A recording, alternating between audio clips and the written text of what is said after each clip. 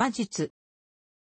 馬術は馬に騎乗して、運動の正確さ、活発さ、美しさなどを目指すスポーツ、技術体系、また、競技種目である。現代における馬術を大きく分類すると、ブリティッシュ馬術とウェスタン馬術の二つに分類される。ブリティッシュ馬術はヨーロッパ発祥の馬術であり、それに対してウェスタン馬術は新大陸におけるカウボーイ乗馬を起源とした馬術である。ヨーロッパの馬術は古代ギリシアで発達し、クセノポンの著作は現存する最古の馬術書として知られているが、近代馬術はルネサンス期のイタリアでクセノポンの再評価から始まった。18世紀フランスのドラ・ゲリニエールは、この流れを集大成し、近代馬術の父と呼ばれている。また、19世紀ドイツのシュタインブレヒトは、現在のドイツ馬術前世の基礎を築いた馬術家とし、知られており、彼らの騎乗法、調教法が、今日の馬場馬術の基礎を成している。一方、障害飛び越し競技、総合馬術の分野では、20世紀初頭、イタリア騎兵将校のカプリリーが編み出した、あぶみを短くして、上半身を前傾させる騎乗法が広く採用されている。日本の古来からの馬術は日本でも、ほとんど廃れ、一部の研究家が実践するに、とどまっている、時代劇や大河ドラマなどでも乗馬シーンのほとんどは、ブリティッシュかウェスタンの馬術によってる。上2社は、技術もスタイルも大きく異なっているが、双方に共通する最も大きな特徴は愛馬精神の尊重である。オリンピックでは動物を使用する唯一の種目であり、選手自身の性別に左右されることなく純粋に個人の技量を競うことのできる唯一の競技でもある。なお、オリンピックでは馬場馬術、 dressage ドレッサージュ、障害飛び越し競技、 jumping ジャンピング、総合馬術、 eventing イベンティングの3種目によって行われるが、 FEI によって開催される世界馬術選手権、ワールドイクエストリアンゲームズではこれらに加え、長途騎乗、エンデュランス競技、エンデュランスライディング、レーニング、レイニング、馬車競技、障害者馬術、パラエクエストリアン、カルノリ競技の計8種目により行われる。かつて、パリオリンピック、1900年では、乗馬走り高跳び、乗馬走り幅跳びの2種目があったが、転倒、落馬の危険が高いため、この回のみで廃止された。アントワープオリンピック、1920年では、乗馬フィギュア、個人、団体の種目があったが、この回のみで廃止された。近代オリンピックにおいては、ヘルシンキオリンピック、1952年にて、軍人以外の男子及び女子の参加が認められるまでは、馬術は軍人だけが参加できる競技であった。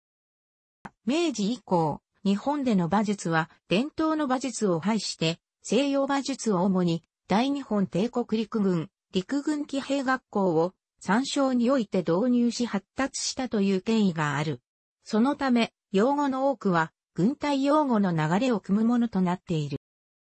日本での馬術は武芸18発にも数えられているように、武芸の重要な科目であった。乗馬は、名字立脇と同じく武士の特権であり、明治4、1871年4月19日に平民に乗馬が解禁されるまで、武士以外の者は乗馬が許されなかった。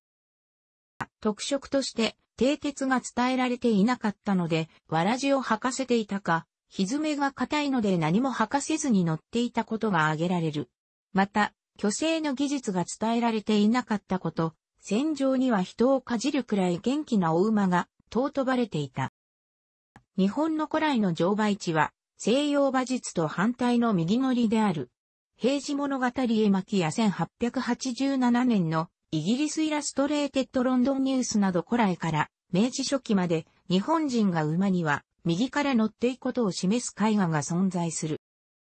競技種目としては、やぶさめ、傘掛け、打球などがある。英国社会のたしなみを反映した流派であり、運動の正確さ、美しさなどを重視する。馬術家の礼儀、作法も重んじており、公式の場では、塩ビ服、トップハット、シルクハットや軍服などの清掃を要求する。ほとんど見られることはないが、女性の清掃は、ロングドレス、つば付きの帽子で胸に花をつけ、サイドサドルを用いる。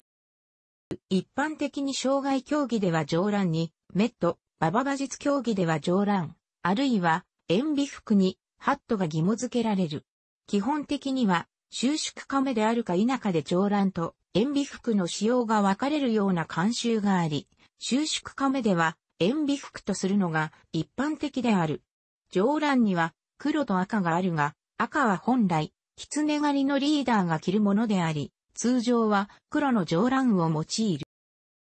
乗馬スタイルは、手綱を比較的緊密に用いて馬への細かい指示を可能にしている。バグはシンプルな足を使いやすいくら、サドルを用いる。オリンピックをはじめとした公式の馬術競技で競われる種目のほとんどは、ブリティッシュ馬術に由来する。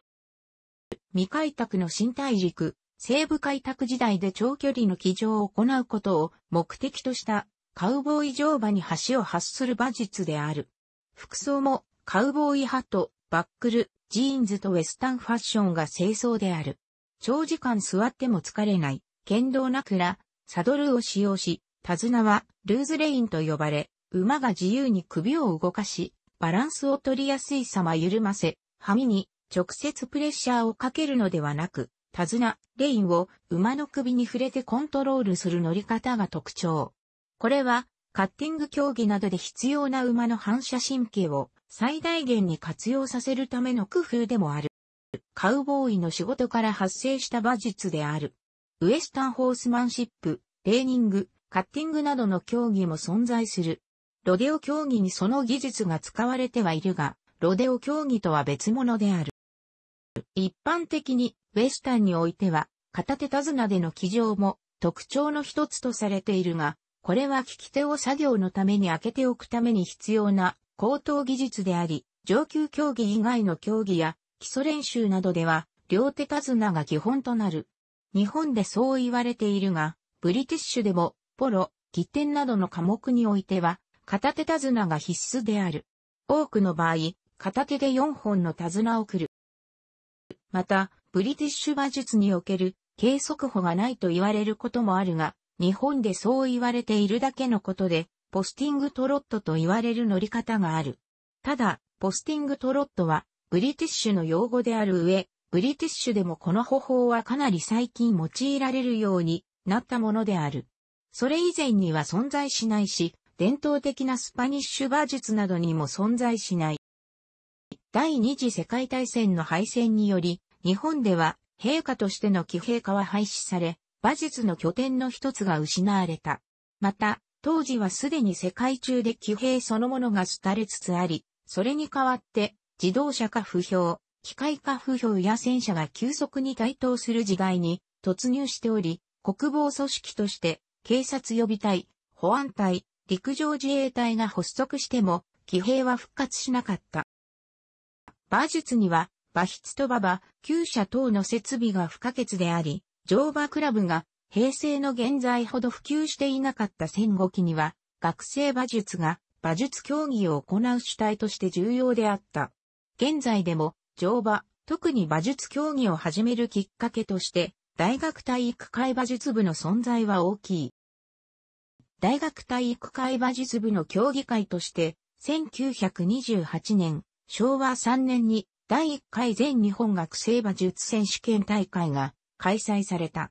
1957年、昭和32年には日本馬術連盟の参加団体として全日本学生馬術連盟が組織された。全日本学生馬術連盟は全日本学生商店バンバ馬術、障害馬術、総合馬術及び全日本学生馬術選手権、女子選手権を主催している。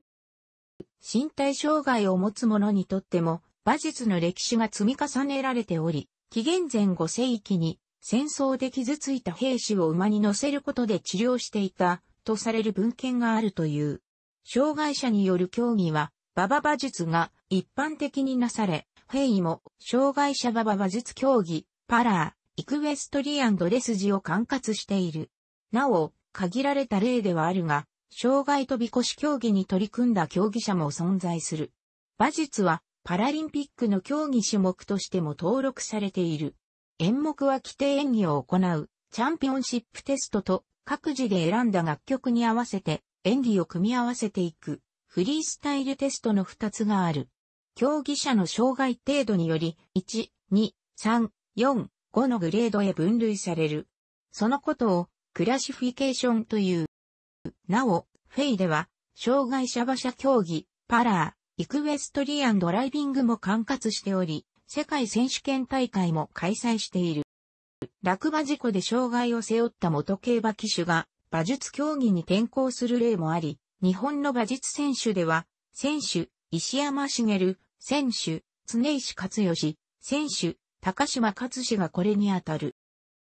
純粋に馬を操る能力の競う種目の他に、テントペギングやポロのようなスポーツ化されたものと、馬上やり試合やジョストのような武道的側面を有する競技がある。日本では、ヤブサメや犬大物が伝統文化として継承されている。楽しくご覧になりましたら、購読と良いです。クリックしてください。